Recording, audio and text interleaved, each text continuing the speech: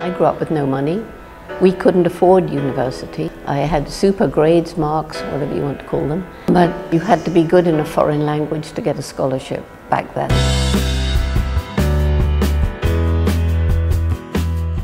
And I never was. I, I still can't learn languages. So my mother had said to me when I dreamed of going to Africa, uh, and everybody laughed at me. I was 10 years old at the time and World War II was raging, no money. She said, if you really want something, you're going to have to work really hard and take advantage of opportunity, above all, never give up. If everybody every day takes a little bit of time to think about the consequences of the actions we take, what do we buy? Where did it come from? How many miles did it travel? Did it cause suffering to humans like child slave labor? Did it cause suffering to animals like uh, factory, factory farms? Did it harm the environment like intensive agriculture uh, with chemicals and so forth or GMOs? If we start thinking like that, we alone, I alone, it's nothing. But say it's a hundred people and then a thousand and then a million and eventually a billion people all making the right ethical choices. That's going to lead to rather major change and kids get it. We must learn to live in peace and harmony with each other between nations, religions, cultures.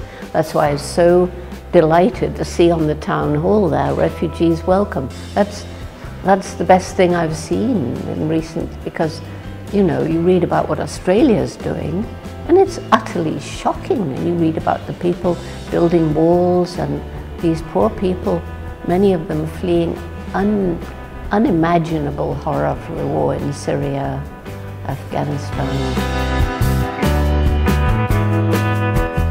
The first big problem, alleviating poverty, is possible. We've shown it.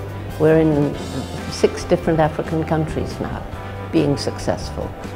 The next problem, which is much harder to solve, is the unsustainable lifestyle of everybody else. And that's not even including the super rich. Let's leave them aside, they're in their own um, awful category, but just ordinary people like us. We all have more than we need. You know, going back to let's choose, let's make ethical choices in what we buy, but also ask, do we need it? And that's where you come up against the economists who are saying we must have unlimited economic development, but in a planet with finite natural resources, it doesn't make sense. no, I never, I couldn't. You couldn't? It's bad enough looking at photographs we can grow out of. And part of our goal of our youth program, Roots and Shoots, is helping children to understand that, you know, it's not only us who have personalities, minds, and emotions. Animals feel as we do. That's changed because when I first got to Cambridge to do a PhD, that was 1961, it was seriously thought in, in science that the difference between us and other animals was one of kind. It was it was a sharp line, probably to do with us having a soul. But we were also supposed to be the only tool maker, you know, so I was told I shouldn't have given the chimps names, they should have had numbers. And I couldn't talk about personality, mind, or emotion because that was unique to us. But I'd learned from my dog as a child that that wasn't true. So, you know, bullfighting, it, it's very clearly, um, there's always a, a, you know, a series of, of um, levels of cruelty.